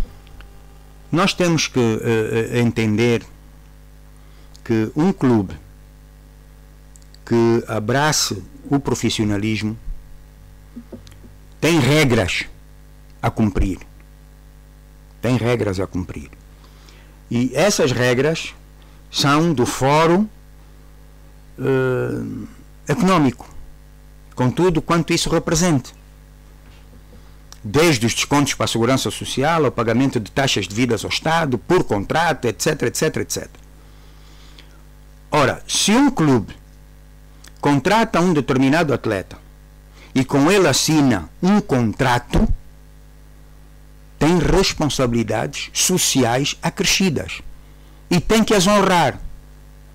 Assim como uma empresa é penalizada por não fazer descontos para a segurança social, é? um clube que não paga o atleta ou que pagando não faz descontos para a segurança social, não assegura o futuro desse atleta, tem responsabilidades e tem que responder aos órgãos competentes. Órgãos competentes, neste caso, objetivamente, não é o Ministério da Juventude e Desporto. É o Ministério do Trabalho e o Ministério das Finanças por via das suas agências. Hum? Então tem que fiscalizar, controlar. Naturalmente. Uh, a contrário senso, não pode ser o Ministério do, do, do, do Comércio uh, a calcionar a existência de ginásios. Isso é uma aberração, e já lá podemos falar disso. Mas aqui, quando o, o clube, ao contratar alguém ou assinar um contrato, ele transformou-se em empresa. Ele tem, ele tem leis que tem que cumprir. Por isso é que um clube, quando opta por entrar para o, o profissionalismo no desporto, tem que medir bem as consequências desse seu passo. Hum? Mas quando um clube uh, não tem dinheiro para pagar 200 mil kwanzas a um árbitro, tem que ponderar se de facto está em condições de se transformar numa empresa, de ser de facto profissional, de se poder amanhã constituir numa SAD. Que essa é outra questão que tem que ser discutida. Essa falsa questão de que nós temos tudo para nos transformarmos em SADs tem consequências que ainda ninguém mediu. E é preciso pararmos um bocadinho, refletirmos sobre os passos que queremos dar e se efetivamente estamos em, condição, em, em condições de os dar. Nós não podemos querer uh, ser país do primeiro mundo numas coisas e sendo país do quarto mundo noutras. Nós temos que evoluir com uh, uh, alguma lógica. Alguma lógica. E na história disso, será possível, Sr. Ministro, nesse cenário, termos, por exemplo, uma liga de futebol em Angola? Como é que olha para eu, isto? Eu, com prudência, eu, com cautela? Eu não gosto de pôr ovos em ninhos de terceiros. Hum? Eu, eu deixo aqueles que têm que, em primeira instância, discutir essas questões que o façam com a liberdade necessária, sem qualquer tipo de condicionamento, mas que o façam com realismo. Que o façam com realismo. Se o Vasco Kinguri hoje me disser que os clubes que estão na primeira divisão de futebol hum, todos eles têm condições para se transformar em SAD, é uma opinião do Vasco Inguri. E qual é a opinião a minha do opinião, ministro? A minha opinião é que um clube, para se transformar em SAD, deve, antes de tudo, ter património próprio. Um clube que nem património tem, como é que pode ser uma SAD? Então, nós temos que refletir sem, sem, sem estar aqui com, com, com, com, com controvérsias, nem sermos realistas. Realistas. Hum? Uh, qual é o nível de gestão dos nossos clubes? Os nossos clubes têm uh, a sua contabilidade. Eu não estou a falar deste ou daquele, estou a falar da generalidade dos clubes. Uh, têm, de facto, a sua organização administrativa ou financeira forte bem organizada. Todos os clubes que estão na primeira divisão têm esse perfil. Então, que, que liga é que nós queremos? Uma liga a dois tempos? Uma liga com clubes que podem ser SADs e clubes que podem não se constituir em SADs ou não têm condições para se constituir em SADs? Os homens do futebol já discutiram isto de coração aberto, sem objetivos eleitoralistas, sem truques na manga, já se abriram a um debate sério, honesto, desinteressado, pensando apenas no futebol? Pensando apenas no futebol? Isso é que é fundamental, porque Mas... o show-off de hoje ser candidato uh, e vir apresentar um, um jardim cheio de rosas é uma coisa. Se nós formos avaliar as promessas que muitos destes dirigentes desportivos que temos hoje fizeram quando foram eleitos, vamos ter aqui a perspectiva do quão capazes são de executar aquilo a que se propõem. E isto remete-nos, Sr. Ministro, a, a, uma questão relacionada com a sustentabilidade dos clubes, como é que esses clubes podem ser clubes sustentáveis? Como é que podem uh, atrair, como é que podem exatamente como é que podem atrair através da indústria do desporto, do futebol, no caso? Não é indústria. Oh, oh, vamos lá ver. Uhum. Uh, não é um problema da indústria do desporto. O desporto em si próprio é uma indústria. O desporto em si próprio é uma indústria. Mas como qualquer indústria, para produzir tem que ter máquinas. Temos que pensar assim. Como qualquer indústria, o desporto para funcionar tem que ter máquinas. Uh, e, e, o seu produto, para ter aceitação no mercado, tem que ter qualidade. Ou seja, o jogo desportivo tem que ter qualidade. É isso que vende. Hum? Se. Uh, e depois há aqui um conjunto de preocupações que sem amadorismos, com responsabilidade, tem que ser analisado. Veja o seguinte: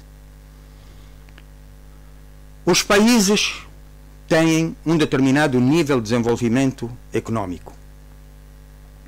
E em função desse desenvolvimento econômico, aqueles que são os atores econômicos, e aqui estamos a falar de empresas, têm o seu desenvolvimento. Esse desenvolvimento ao nível do mercado, assenta na concorrência.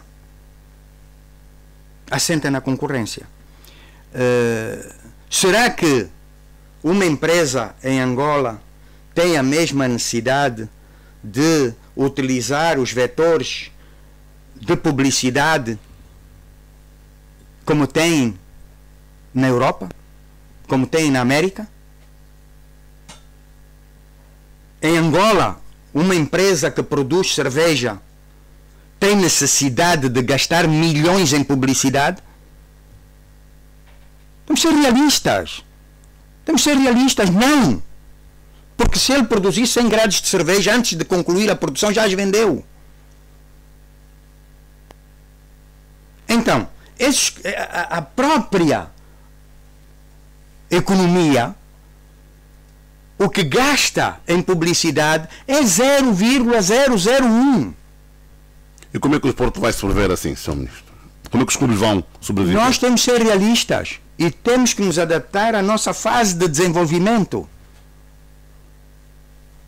Claro que aqui isso obriga a, uma, a um maior esforço do Estado. O Estado tem que ser um dos principais e continuar a ser um dos principais sponsors do desporto. Porque a economia por si só não responde a essa necessidade. Temos de ser realistas. Ser realistas. E esse financiamento... E eu gosto de ser, eu gosto de ser sim, objetivo. Sim, sim, sim. eu, eu, eu sei Os fato. preços de um determinado produto dependem da procura. Por isso é que você vê aqui empresas que produzem produtos com pouca qualidade, mas os preços são altos. Por quê? Porque não existe concorrência. É tão simples quanto isso. Então, se o Estado tem na, na, no desenvolvimento esportivo uma das suas âncoras para o bem-estar social, então o Estado ainda, mesmo contra a vontade de muitos, ainda continuará a ser a principal âncora de desenvolvimento. E que critérios devem nortear, Sr. Ministro, este financiamento? É outra questão. Aí depende dos interesses das empresas, depende da, da, forma organizativa, do nível organizativo dos atores, dos clubes. Vocês têm um clube que até teve a sorte de receber milhões de uma determinada entidade privada e se dá o descaramento de, por total de respeito, nunca lhe prestar contas. Você está à espera que essa entidade privada continue a subvencioná-lo? Vai largá-lo. Eu faria o mesmo. Em relação ao Estado, Sr. Ministro o Estado tem Os estado a apoiar direta e indiretamente. Direta e indiretamente. O, o, o, o, que não, o que não podemos esperar também é que seja apenas o Estado o único ator. Não pode ser. Não pode ser. Nós até ajudamos, muitos dos treinadores que nós, por exemplo, mandamos para fora formar, advêm de quê? E, e prestam serviços a quem? Não só as seleções nacionais, até prestam aos próprios clubes, são sponsorizados pelo Estado para ir fazer formação. Um exemplo. Há clubes, por não terem sequer, e, e principalmente ao, nível do desporto mais, mais jovem, digamos assim, das classes mais, mais, mais baixas, dos juvenis, júniores, etc.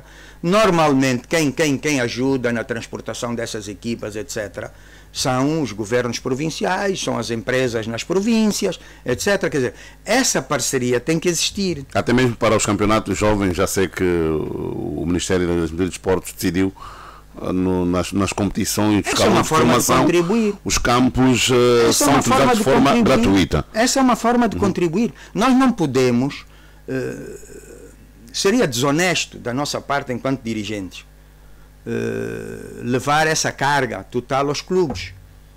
Então, se os clubes já estão a investir na formação desportiva, nos miúdos, nos mais novos, o Estado, que tem, é detentor de infraestruturas, deve libertá-las a favor desses miúdos uh, por duas razões objetivas. Primeiro, ajudar o crescimento da modalidade. E segundo, melhorar a possibilidade de, de, de desenvolver qualitativamente a prática desportiva. Ou seja, uma coisa é você uh, aprender um determinado gesto técnico, Uh, num campo de, de pauperado, sem um mínimo de condições. Outra coisa é você, com 9, 10, 11 anos, numa fase de aprendizagem, poder jogar, por exemplo, basquetebol no arena. São duas coisas completamente distintas. E essa foi uma decisão que nós tomamos à partida. Mal chegamos ao Ministério. Nenhuma estrutura do Estado cobra para a realização de torneios nas classes até juvenis. Os júniores, casuisticamente, vamos analisar. E os séniores estão obrigados a contribuir. Eh, até porque alguns deles têm bilheteira. Então, é, são essas coisas que nós temos que analisar. Voltando à questão do financiamento do Estado ao desporto, Sr. Ministro, eh, quando eu toquei na questão dos critérios, tem muito a ver com o financiamento por objetivo. Fala-se muito na prestação de contas do ponto de vista financeiro. Eh, até que ponto o Ministério, e penso que já havia uma estrutura dentro do Ministério eh, que hum, eh, tomava conta desta, desta, desta situação, tem a ver com hum, cobrar uma modalidade, uma federação, em função daquilo que foi a prestação da seleção. Ou seja, cobrar do ponto de vista desportivo. Isso, isso, primeiro, esses compromissos têm que ser assumidos pelas próprias federações. Hum? Mas quem dá dinheiro é o, é o, é o Estado por via é do Estado. E, e o Estado determina objetivos.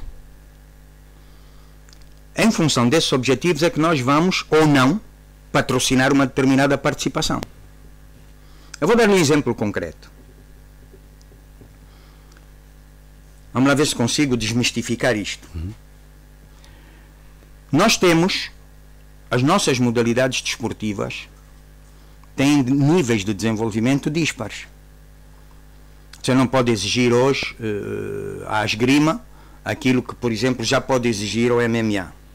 É? Estão em níveis de desenvolvimento diferentes ainda. Portanto, quando, quando nós, uh, se queremos fazer a generalização dessas modalidades, nós temos que a trazer a público. Trazer ao público, a, a público implica também alguma ajuda às próprias federações nacionais. Mas as federações nacionais têm os seus objetivos. E um deles, os objetivos competitivos. Uh, e, e face à análise realista que temos que fazer em cada momento e em, em cada modalidade, isso é que nos levará a decidir se vale a pena nós participarmos em determinados torneios. Eu vou lhe dar um caso específico do xadrez.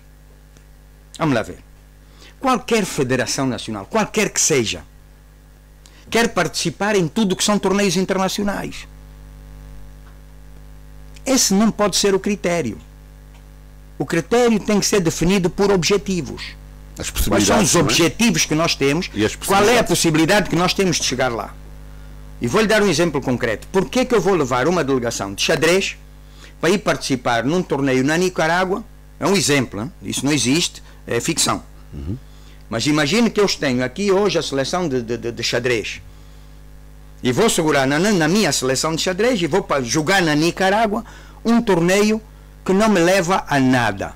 Um torneio que não conta para os elos. Né?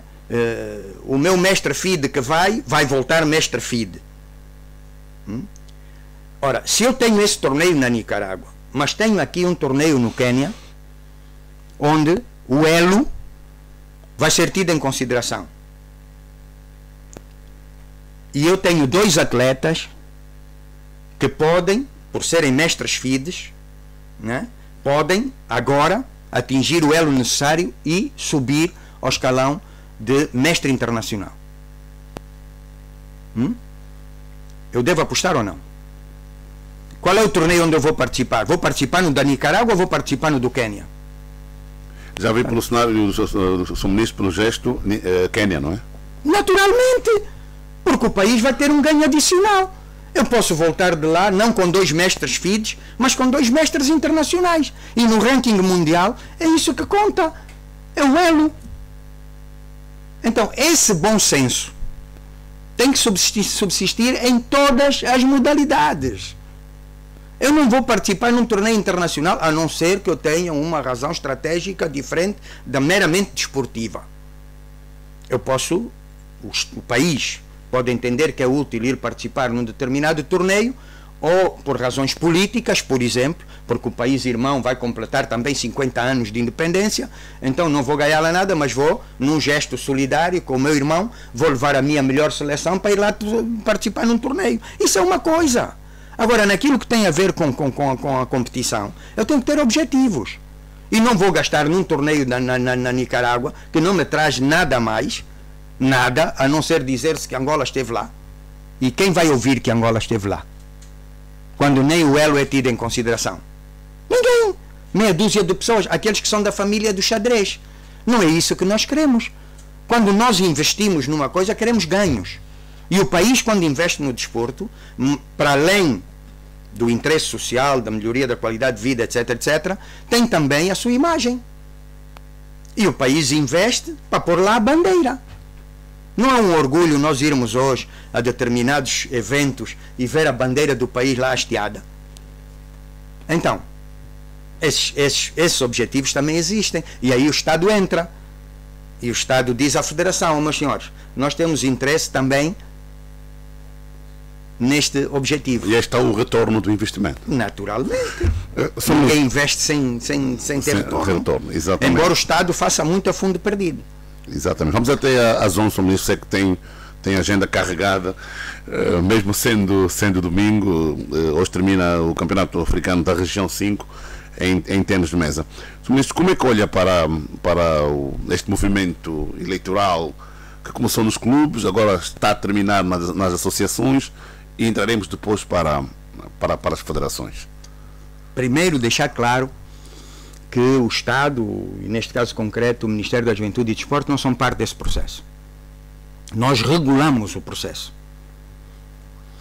Uh, compete uh, aos associados, compete aos, aos, integrantes de cada uma das federações uh, realizar os atos e defender o melhor que puderem os interesses da própria modalidade, pondo nos, nos seus órgãos de gestão aqueles que eventualmente sejam os melhores dirigentes que a modalidade tem. Isso é um problema de cada modalidade.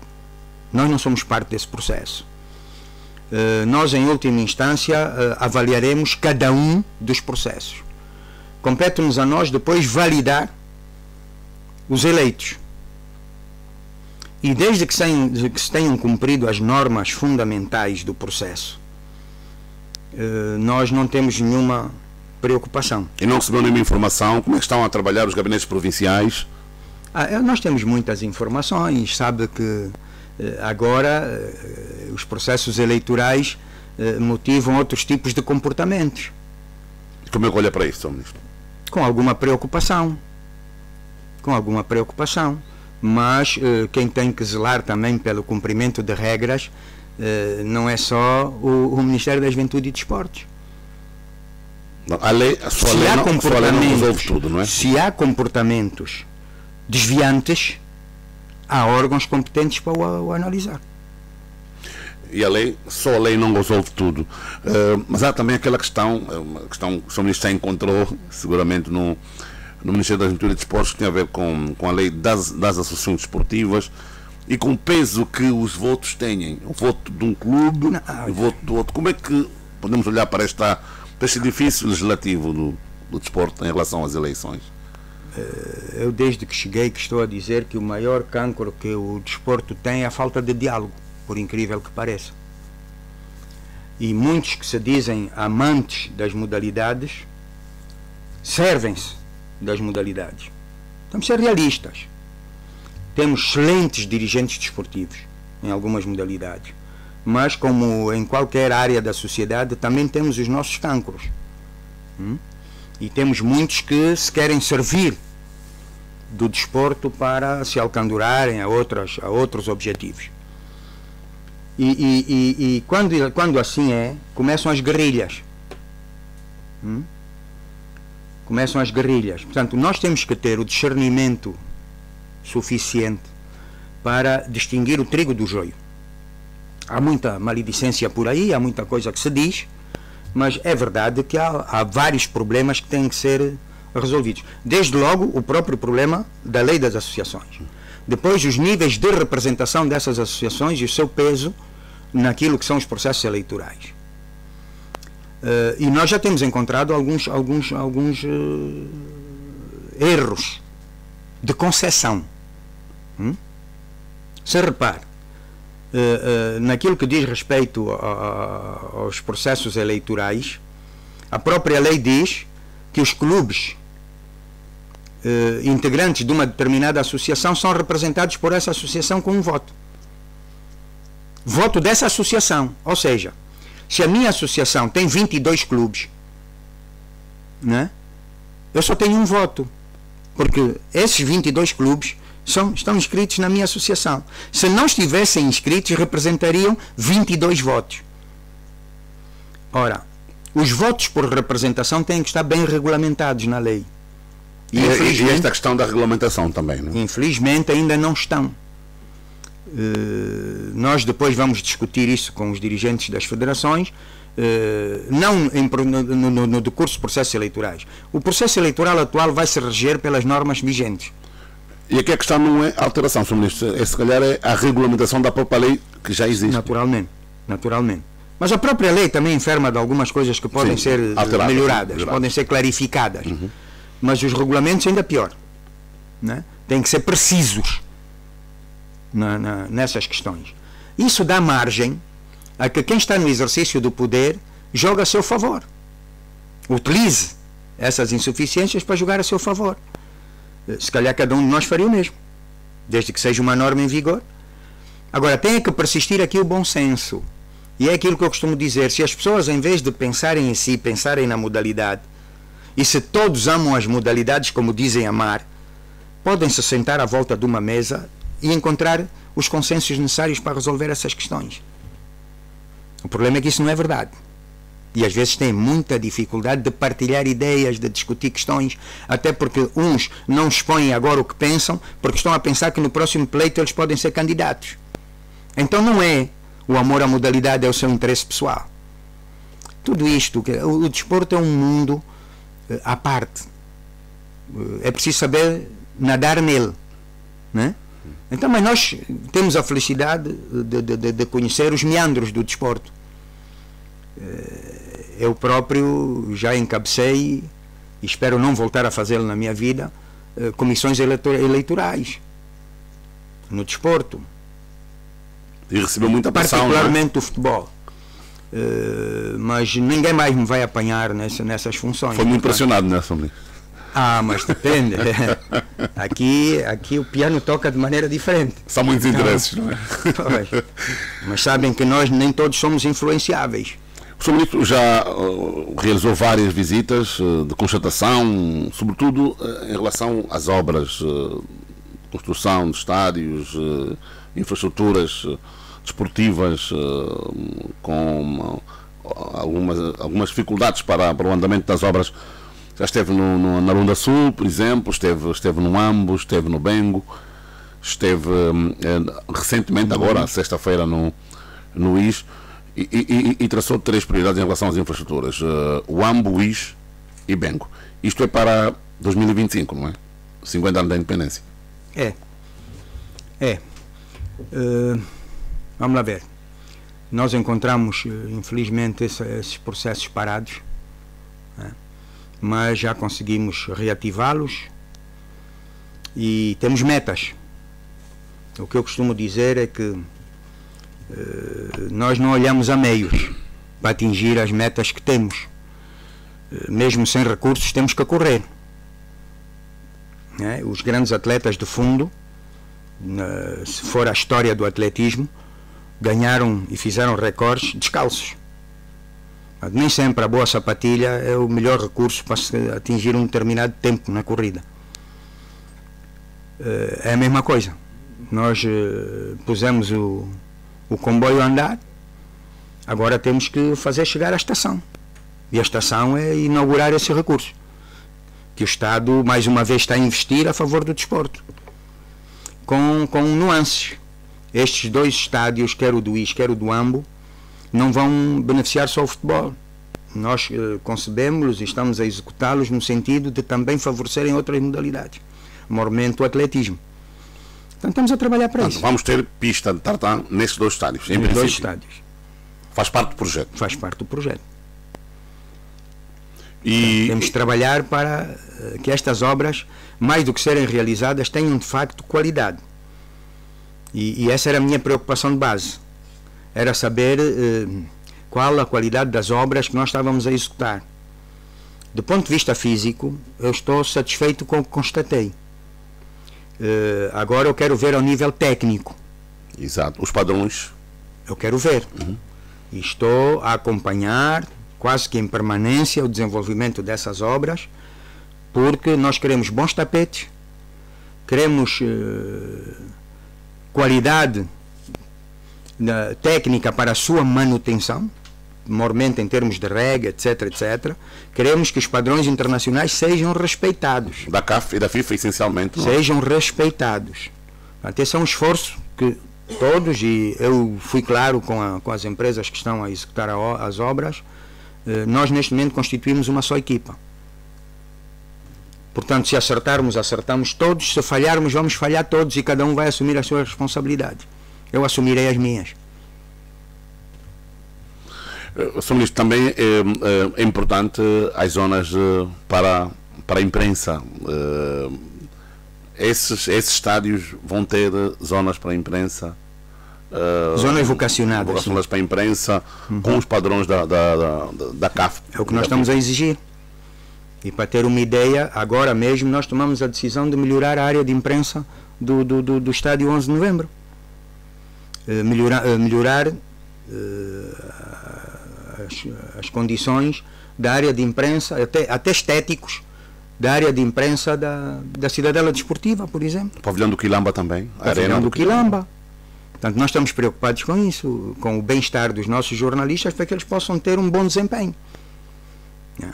Mas, voltando ao, ao Encontro Nacional de Desporto, é preciso também que os nossos eh, jornalistas desportivos façam um esforço no sentido de participar nas ações de formação e poderem não só dominar a linguagem própria de cada uma das modalidades, mas transmitir com alguma clarividência o que está a acontecer no, no perímetro do, do jogo. E neste quesito, a imprensa desportiva pode contar com a ajuda do, do Ministério da Juventude e Desportos. Do Ministério e das Federações Nacionais. Esse compromisso está assumido.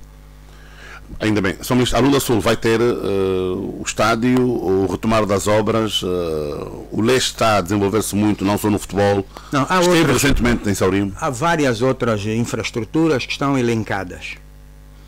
Tudo dependerá da disponibilidade económica ou financeira do Estado. Nós definimos uma prioridade.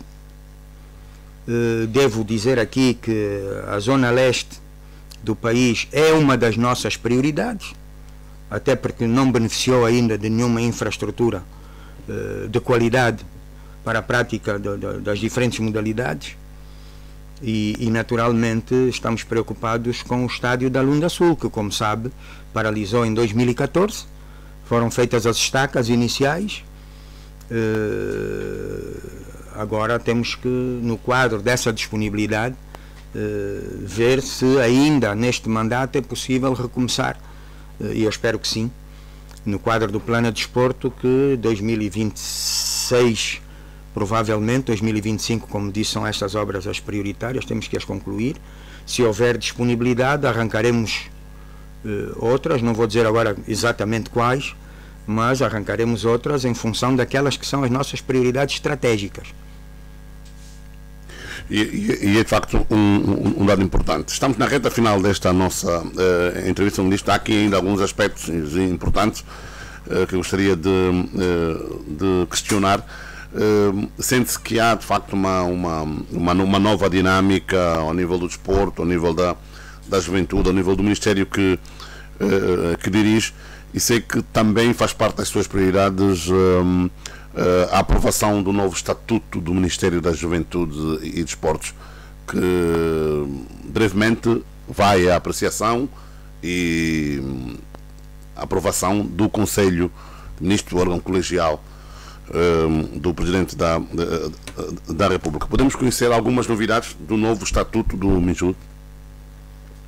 Olha, eh, nós estamos a refletir no todo mas temos que adequar o, o, a estrutura orgânica do Ministério àquilo que são as suas principais responsabilidades atuais.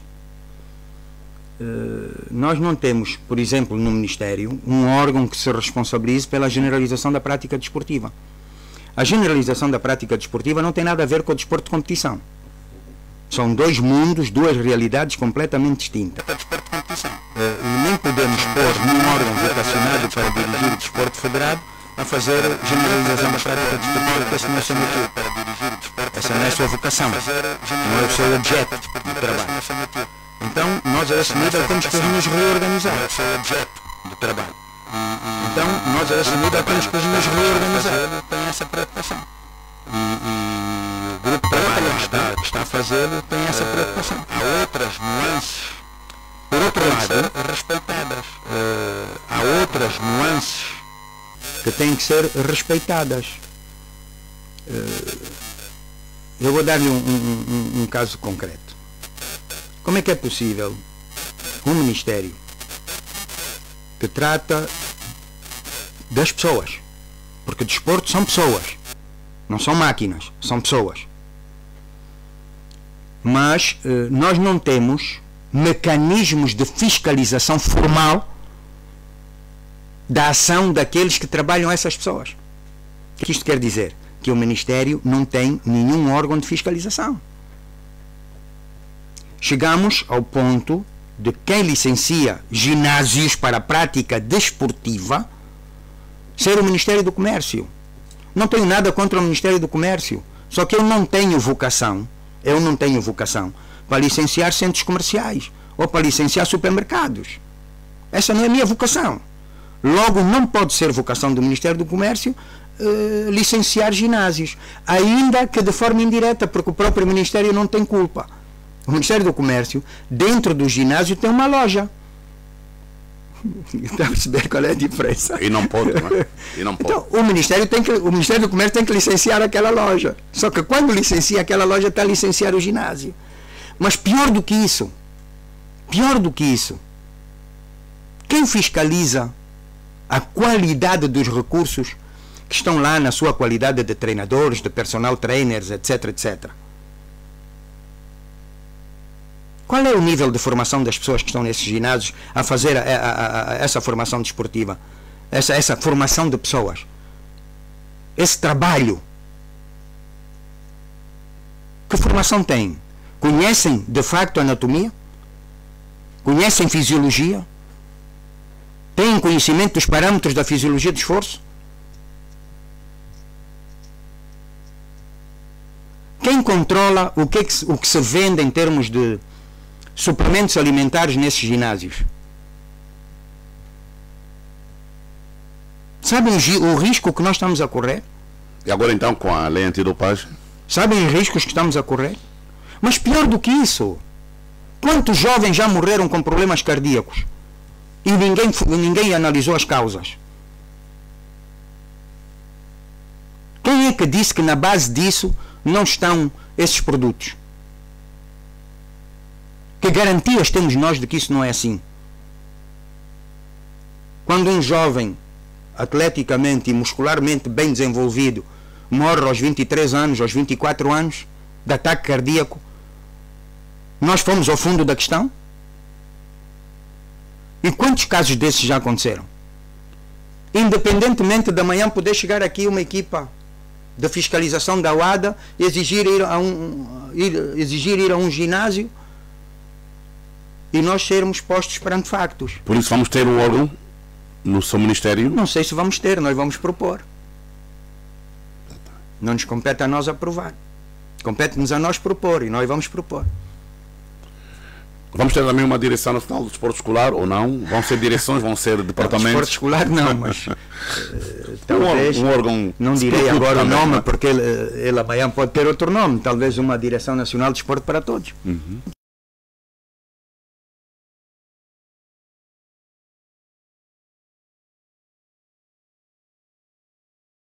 exercer funções nessas, nesses níveis e, eh, naturalmente, metodologicamente, apoiar aqueles que têm que realizar as ações. É isso que nós pretendemos. E vamos então aguardar uh, pelas propostas que o Minjudo vai uh, submeter uh, ao Conselho de Ministros e depois à sua apreciação e aprovação. Uh, Sr. Ministro, o, o futuro, costuma-se dizer que o futuro a Deus pertence. E esses cargos de ministro, governador, são sempre passageiros. quando um dia deixar o Ministério, em que estágio gostaria que estivesse o, o desporto e a juventude? Melhor do que eu encontrei. E melhor significa o que é, Sr. Ministro? Significa termos um desporto federado bem estruturado, significa termos uh, a generalização da prática do desporto, chegando à família de forma organizada, sendo que aqui o poder local tem uma grande responsabilidade. Hum? Nós somos apenas o órgão de concessão. Quem tem que executar serão outros. Eh, nós vamos fazer o acompanhamento metodológico. Mas gostaria de poder dizer, por exemplo, que tínhamos um desporto escolar perfeitamente estruturado e em todos os níveis da educação do país. E a juventude? A juventude, melhor do que temos hoje, com quadros bem formados, com jovens capazes de assumir as rédeas do país, eh, tendo por base o amor pátrio, que vai escasseando aqui e ali. Mas se tivermos eh, jovens com esse amor e essa dedicação ao país, seguramente teremos uma Angola melhor no futuro. E é para isso que nós estamos a trabalhar. Quanto a mim, só me resta a reforma. Sua reforma o Sr. Ministro, sendo um bom, um, um bom comunicador uh, de trato fácil, por que não pensar na diplomacia um dia, não é? Não, eu nunca pensei nisso. Eu nunca pensei em funções, eu penso no país. E o país uh, usou-me, entre aspas, até aqui, uh, naquilo que achou que eu era competente. Uh, no dia em que chegar à conclusão que eu já não sirvo, é porque eu já dei o, o, melhor de mim e como outro serei substituído. Mas ainda falta muito. Não estou preocupado não? com isso. Não, não estou preocupado com isso, seja amanhã ou depois da manhã. O que eu estou preocupado é por onde passar, deixar uh, melhor do que eu encontrei. Foi assim que eu aprendi com Baden Powell. Deixar uhum. o mundo melhor do que eu encontrei. Essa eu faço a minha parte. Tento fazer o melhor de mim todos os dias, dando o máximo que posso como disseste bem, o futuro a Deus pertence. Se amanhã entenderem que eu já não sou útil, eh, eu também sou filho de Deus, também mereço o meu descanso, também mereço mais algumas horas com a minha família, porque eu infelizmente sempre desempenhei funções que me dificultaram uma maior presença, né? Mas os meus filhos também, como os filhos de muitos, reclamam. E qual é o segredo? Eh, manter essa dinâmica, uh, estar sempre disponível para, para responder eh, aos desafios que, que o país pede. Como é que consegue conciliar com, com a vida pessoal? Primeiro, eu preocupo-me em ser um bom cidadão e servir a minha pátria. A minha pátria está acima da minha família e toda a gente sabe disso. Uh, dou à minha família tudo quanto posso. Dou o melhor de mim mesmo. O exemplo são os meus filhos. E sei que é, é, é como disse, uma pessoa que, que comunica facilmente. É, sei também que faz parte de um grupo onde estão mil, mil pessoas, eh, enfim, um, um grupo de pessoas que interagem na atividade esportiva, da juventude. Como é que como é que consegue eh, conviver com essas pessoas? quando, quando a gente quer, a gente pode. Quando a gente quer, a gente pode. Eu estou habituado uh, a liderar equipas grandes, estou habituado a conversar com toda a gente. Eu, o Vaz sabe, muita gente sabe que eu não marco audiências. Sim. Eh, eu não estou habituado a deixar papéis em cima da minha secretária e não saio do, do, do, do meu local de trabalho sem atender as pessoas que lá estiverem para falar comigo. Portanto, é um princípio a que eu me habituei e que uh, faço com a maior das naturalidades. Uh, eu sinto-me um verdadeiro servidor público e as funções que exerço são para isso mesmo, para servir o público, para dar o melhor de nós próprios, sem olhar a, a, a recompensas. Hum? Então, estamos aí para dar aquilo que sabemos. Quando a gente não sabe, e é o que eu tenho feito na minha vida, é procurar reunir-me dos melhores quadros disponíveis para me ajudarem. Porque eu tenho consciência de que não sei tudo. E que haverá quadros que saberão aqui e ali mais do que eu. Formar uma boa equipa. Então, esse é sempre o meu esforço. É ter na minha equipa os melhores quadros disponíveis no momento. Para eu com eles aprender e com eles crescer. Crescendo com eles, crescemos todos. Então é isso que eu me habituei a fazer e, e vou continuar a fazer.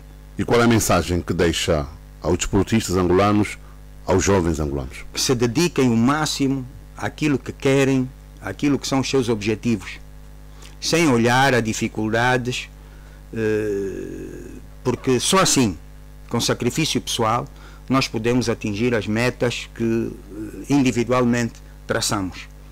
Portanto, cada um que faça o melhor de si que dê o melhor de si no sentido de atingir os seus próprios objetivos, sem, eh, como eu dizia, eh, esperar apoios aqui e ali, não, fazer o que ele pode. Se os apoios vierem, melhor, mas dar o máximo de si mesmo. É esse o conselho que eu dou a todos os jovens todos os dias. Darem o máximo de si mesmos.